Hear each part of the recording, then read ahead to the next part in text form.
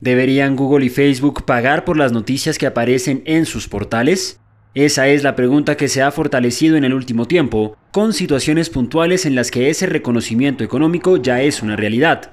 Es el caso de Australia donde se impulsó una ley que obligaba a las plataformas digitales a pagar por los contenidos noticiosos.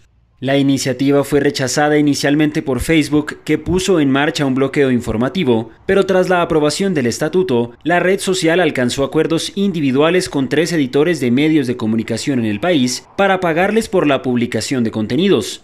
Google, por su parte, llegó a un acuerdo con News Corporation del magnate australiano de la comunicación Rupert Murdoch días antes de que se aprobara la legislación. Todos estos acuerdos son privados y no han trascendido las cuantías que se pagarán a los medios, pero según los detalles filtrados a la prensa, todo indica que se trata de paquetes cerrados de dinero y no de un porcentaje de los ingresos de publicidad, como reclaman muchas de las firmas editoras.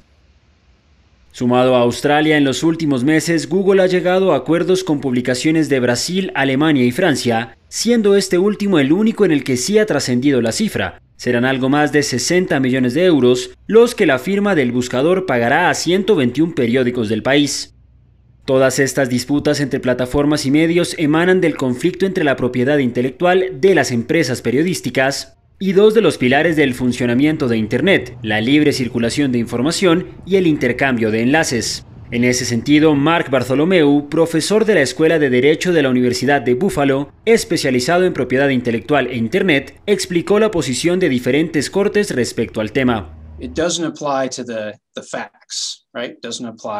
Los derechos de autor existen sobre el texto, pero no sobre los hechos, sobre los detalles. Como las noticias se supone que deben ser compartidas y diseminadas de forma gratuita, las cortes en Estados Unidos y el resto del mundo mantienen una actitud bastante generosa en cuanto a las noticias y solo consideran que copiar la historia palabra por palabra constituye una violación de los derechos de autor.